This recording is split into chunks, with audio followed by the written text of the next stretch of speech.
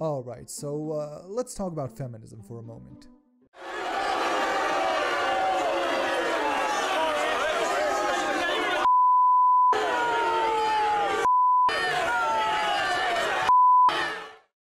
Uh, okay, okay, hold on. Listen, I told you, this is my channel, there's no theme. I'll, I'll talk about whatever I want, okay? And today we're gonna talk about feminism, okay? Just shut up. Pipe down and listen, okay? So, a question that's been bothering me for a long time is how does feminism help men? Because I've heard a lot of feminists say this, that feminism helps both men and women, and every now and then I would stumble on an article by a feminist site about how feminism is the best thing for men, trying to get their male readers to drink this big tub of Kool-Aid, telling them that this is all for their own benefit. And eventually I decided to go ahead and Google some variations of things like top 10 ways that feminism helps men or how patriarchy hurts men too, to see if maybe I was all wrong. Maybe I got this completely wrong and the feminists got it right. Now, needless to say, I wasn't exactly turned. First of all, when you Google any combination of the words feminism, helps, and men, for every article you find about how feminism benefits men, you'll find about three different articles by feminists about how men can help them. And the alternative, how patriarchy hurts men, uh, that isn't much better because that turns up as one of its first results an article by the Geek Feminism Wiki, which explains that even saying this is just a derailment tactic and that although feminism is meant to help both men and women, any attempt to talk about men's issues within feminism needs to be dismissed and treated with hostility. So we're already off to a pretty bad start. In fact, the only thing that came even close to a good article about this topic was on Mic.com of all places, which really shows you the high standard we're talking about here. Now, you might tell me that there are better sources for this, that I should have read a book about this, for example, but since the people writing these articles have clearly never read one in their lives, I don't see why I should hold myself to a higher standard, okay? After all, feminism helps men is an argument I hear primarily from internet feminists, so I might as well explore why they think that using articles written by other internet feminists. That makes a, a good bit of sense to me. So I've been mulling over the results of my little experiment in my head ever since and thinking about whether or not I should do a video about it. Now, a few days ago, I realized that I have nothing better to make a video about and that I don't really want to start my next hour-long autism project yet, so I guess we'll settle for this for now.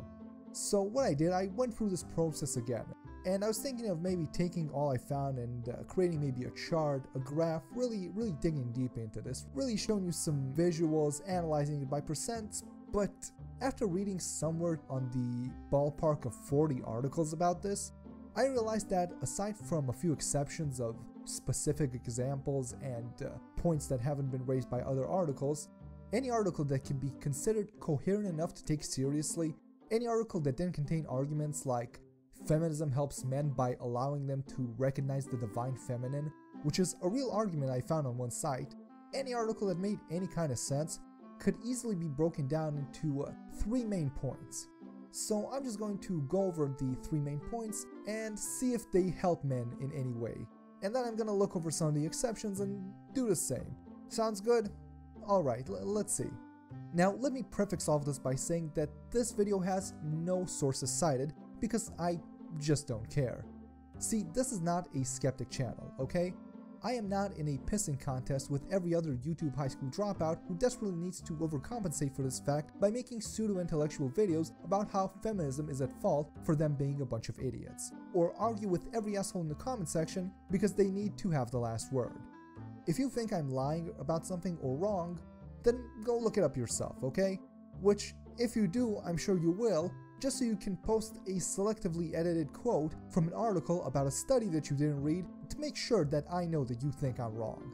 Much in the same way as anyone that already thought that feminism is garbage before watching a single second of this video will pat himself on the back at the end of it and then head straight to the comment section where they can all jerk each other off.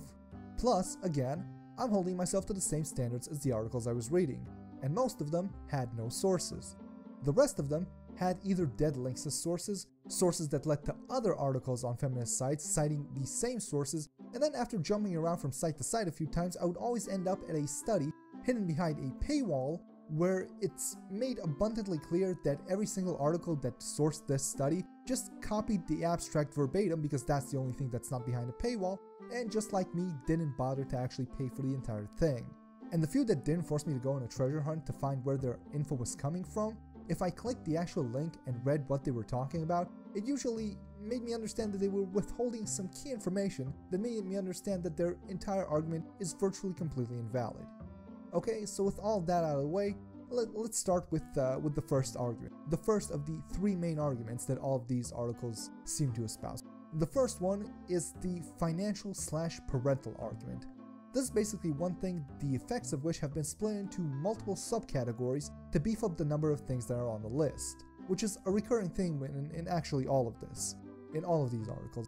So the argument is basically broken down into some variation of since women entered the workplace, the GDP had gone up, which is helpful to men because they live in a better country with a higher GDP. Men spend more time at home with their kids. Men enjoy uh, paternity leave, and the burden on men in the military is lessened with the inclusion of women. Each of these is listed as one or sometimes several different arguments about how feminism benefits men. But a lot of these suffer from two distinct problems. The first is, was this actually the result of feminism in the first place? Because women entering the workplace during World War II had more to do with all of the men being offshore dying somewhere than it did with feminism doing anything. How much of that had to do with feminists fighting for the right to work is honestly pretty questionable. As for parental leave, none of the articles provide any links showing that it was feminists who helped men get paternal leave.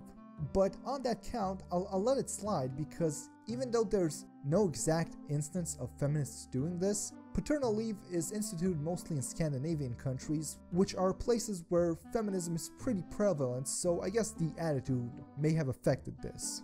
But even assuming that all these things are true and that all of this was helped be brought about by feminism, which it very may well be, considering how many articles I found by feminists talking about how there is a need for paternal leave without actually attempting to do anything about it, that only brings us to our second problem. Why is feminism fighting for this in the first place? Was any of this the result of feminists fighting for an equality that benefits men? No, not really women entering the military supposedly helping lessen the load of men, a questionable proposition in of itself, was done for women's sake. And so was women entering the workplace, and while that raised the GDP, doubling the amount of workers halves the amount of money that employers are willing to pay for them. So the decline of your money's buying power has more than a little to do with women working. I'm not saying we should shackle all women to the kitchen stove, but the benefits of them working to men are negligible compared to the costs. And if you're presenting your argument as a way to convince men to be feminists in the first place, more questions aside, why would men choose a system that benefits them less than they would be benefited by a supposed patriarchy? So these aren't very good arguments. And all of this is a problem even before you ask yourself if some of these actions even benefit anyone men or women. See, the treatment of men in family courts is a great example of this. Much like with some of the other issues, you can find a lot of articles by feminist sites decrying men's mistreatment by the legal system in marital disputes. However, these are conspicuously more common in articles titled How Patriarchy Hurts Men rather than the ones about how feminism helps them because those don't require any proof of feminists actually doing anything. But the question should be asked, is this really a good thing? Because as much as I appreciate fathers' desires to spend time with their kids after a divorce or take time off from work to be with a newly born child, some psychologists question whether this is healthy for a child or not. To be raised in an artificial environment like the one we're creating where the mother is not the primary caregiver like she is in nature. Now, I don't necessarily agree or disagree with this view, I just find it funny how readily the two sides of this debate change their position on the topic depending on what's convenient. Because while MRAs and anti-feminists in general blame a lot of things feminists complain about on biological imperatives, they're quick to forget biology playing a role in anything when talking about this issue. And by contrast, while feminist sites like the ones I've read like to give lip service to the idea of paternal leave and say that it's great, as soon as any gains are made in that direction, you're sure to find a deluge of articles by those self-same sites arguing that a child's place is with the mother when they realize that equality might not benefit them in this case. Which brings me to the point I was trying to make earlier, that most of the debate on this topic by feminists focuses less on fathers' rights to be with their children and more on how this can be used as a cudgel to force men to do housework, which is a fair complaint on the surface, but not if, as I mentioned, you want to walk back on it as soon as it requires you to share your time with the children in a way that displeases you, instead of relying on a court's or an employer's disposition to favor you because of gender stereotypes. The second way that feminism helps men, that is always brought up in these articles, is changing gender norms. This again is separated into about a half a dozen similar arguments that are in reality all one and the same. These can include allowing men to wear pink, work feminine jobs, change their portrayal in the media, combat quote unquote toxic masculinity, and allow men to cry, and so on. The problem with all these arguments is pretty obvious, which is science denialism. Pretty much every variation of this argument can be refuted by the fact that it's a product of biology and that, on average, men don't actually want to do these things. They don't do them because of societal pressures or toxic masculinity, they do it because that's what men are like. Men work different jobs because their interests are different. Their media portrayal is based on their actual behavior, and toxic masculinity, quote unquote, is the product of testosterone. In fact, men cry less because they're hormonally different and because they have deeper tear ducts, which is why female to male transgenders often report that after taking hormones, they start crying a lot easier and vice versa. There is no point in me going into any more detail about this, because this argument has been had a million times and has been pretty much settled for anyone who doesn't grasp at straws like pseudoscientific theories that deny the existence of biological sex or vastly overstates the importance of nurture in this nurture versus nature argument to the point where he might as well be denying biological sex. More interesting than the essence of these arguments is their cause, since almost all of them seem to be feminists taking minor things that men do that annoy them and trying to convince them that all of their problems in the world would go away if they could just stop doing them by acting more feminine. The point of this is that feminism doesn't really help men by allowing them to do things that most of them don't actually want to do.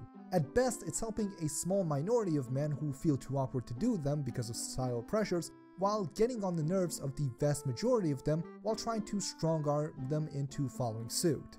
And just a small aside here, uh, MRAs, who I don't really like, let me give you some advice. When you get roped into these stupid arguments with feminists and blame them for the fact that you're not allowed to learn ballet, instead of admitting that you don't actually want to do this, you're pretty much to being against feminism what Republicans are to being against Democrats when they get into the argument of who the real racist is.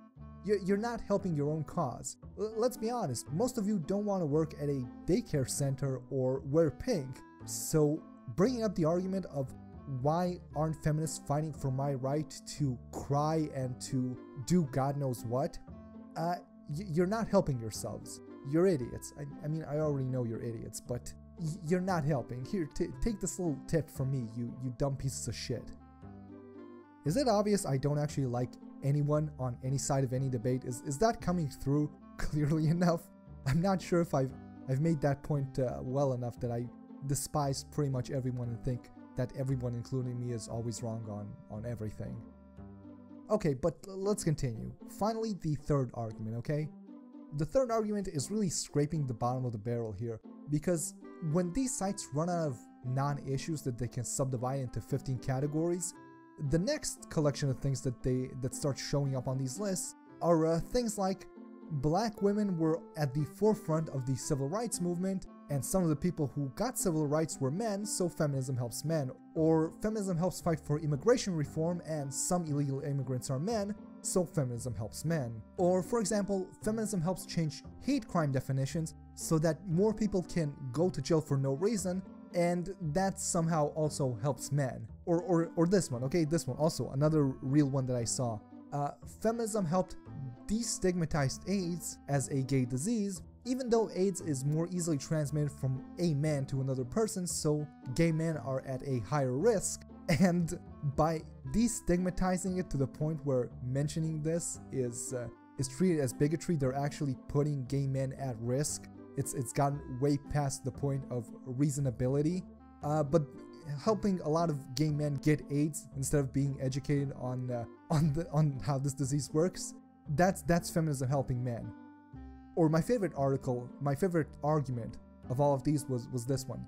All of us should join hands and support Planned Parenthood because a handful of people who are helped by Planned Parenthood are trans men. Okay, men also get abortions, so by helping these like three dudes, feminism is helping all men ever. And that's a serious point that someone tried to make. So, more so than any of the three arguments that I've presented here, this one is the one that sounds most like buying your wife sexy lingerie for her birthday. It's, it's a gift for her, but really, it's more of a gift for you. Feminism claims to be helping men by doing things that they were going to do anyway to help people, some of whom are men, but these are men that feminists don't consider as real men. Because let's be honest here, for feminists, especially intersectional feminists, helping black men is a delusional attempt to somehow hurt white men. A viewpoint that only feminists and the American Nazi Party share. Everyone else understands that this is not how that works. Okay, so with that out of the way, let's address some of the minor points, okay? Uh, number one, a woman invented the jockstrap. My counterargument to that is a woman is not feminism. Number two, Justice Ruth Ginsburg helped overturn two laws that discriminate against men. My argument to that is uh, Justice Ruth Ginsburg is not feminism. And if you dig a little deeper, you realize that the first law she helped overturn, uh, she wasn't actually the lawyer, she was just advising a lawyer of the guy who was suing on behalf of the ACLU. And the second one was helped be overturned nearly 50 years ago. But even then, even so, uh, one woman is not feminism. And in spite of that, this Mic.com article that I mentioned uh, talks about her like five fucking times. They might as well shove their heads up her vagina. She's one person. She is not the goddess of feminism. She is not the representative of feminism, okay? Number three, okay? Number three. Let's talk about rape and domestic violence for a second because that's such a fun topic. These two topics get brought up a lot in these articles and it's a little sickening and let me explain why. The first point that's always brought up is the work done by organizations like Male Survivor and Just Detention International. Now let's start with the second one first. All the credit for their work is always given to a woman named Lovisa Stannow, I think that's how her name is pronounced, who did not form this organization and is only one of the people who helped run it. But she is constantly credited as the only name involved in this in any way because she's the first woman that shows up when you Google it. The fact that this organization was originally founded by actual male victims of prison rape is just brushed aside completely, not mentioned at all. In fact, I don't even know if she's a feminist because I haven't been able to find any quote of her saying she's a feminist. I mean, she probably is, but maybe they shouldn't just assume. Now, by contrast, the second organization I mentioned, Male Survivor, has nothing to do with feminism and is run by someone who openly stated that he is not a feminist. So, still, feminists are very quick to take credit for helping solve this problem that they seemingly don't actually care about that much because they never do anything about it, by taking the credit of entire organizations, some of which are distinctly not feminists. Then there's the claim that a feminist campaign helped change legal definitions of rape to include men. What they fail to mention is that this was not intentional. A campaign by Ms. Magazine was created in an attempt to remove the word forced from the definition of rape so that it could also include women who were unconscious when they were sexually assaulted. But this had an unintended and possibly undesired effect of changing the definition completely into being any kind of unwanted penetration. And despite how much feminists care about male victims supposedly, they actively fight to keep this definition from being changed again in a way that would make it possible for women to be counted as perpetrators. Now, when it comes to the issue of domestic violence, the situation is similar but perhaps even worse. I found that a number of these listicles cited advocating for male victims of domestic violence as a feminist achievement. But all of them had this point couched in a broader argument that the reason that male victims are suffering is because of masculinity that prevents them from going to the police about it, basically blaming the victim. But what does feminism do for the men that do go to the police about it? Let, us see what they do. Um, let's see what feminism has done for victims of male domestic abuse. Let's see. Um, they helped close the only men's domestic abuse shelter in Canada and drove the founder of it to suicide. They murdered the dog of the founder of the first ever domestic abuse shelter in the world because she was about to let men in. They disrupted a congresswoman in Ottawa who was speaking at a convention trying to help abused husbands, and they preferred to shut down multiple domestic abuse shelters in the UK rather than comply with a law that would have forced them to stop turning away men. And even online, the situation isn't much better, because for every article I found saying that feminism should fight for male victims as well, I found several implying that statistics about male victimhoods are all made up, saying that funding men's shelters is a waste of money, and the rest focused entirely on why men being victimized by women is caused exclusively by masculinity and nothing else, and they probably don't even happen that much anyway, and no one should care, and no one should uh, make any shelters. Just don't do anything. It's all masculinity's fault. Let them keep being abused. No, nothing can be done, nothing should be done. If they just act more like women, then they, they'd stop getting, getting beat up. They're, they're actually asking for it. They're definitely asking to get beat up. The bitches are asking for it. That's the argument. Okay, so that's basically the end. But what's the takeaway from all of this? Because I don't want you all to get the wrong idea from this video. Since the last thing I want is to draw the sort of audience that watches YouTube skeptics, okay? I don't like those guys and I don't want to be my audience, but I'm still gonna make this video because that's what I feel like. So, is my point that feminism is bad? No. Is my point that feminism doesn't do anything for men? Not exactly. Because it sort of does, but not very well and not intentionally. The real issue here is that the question being asked, how does feminism help men, is too broad. It's the wrong question. The right question to be asking is, when has feminism, as a movement, actively accomplished something for the sake of equality that would help men and was either not beneficial to them or actively harmful just because it's the right thing to do? And the answer to that is uh, never. Or at the very least, it's no one who says that has been able to show any convincing proof of it. So basically, what I'm saying is to the people who say that feminism helps men too, either stop saying it, find real proof, or actually do something. And which one you should choose really depends on why you're saying it in the first place. Because if you're doing it because you think it's true, then you need to check your facts. And if you're doing it because you're trying to get men to become feminists, then that's not going to work either because any man that's going to become a feminist is already a feminist, and the rest of us aren't really buying it.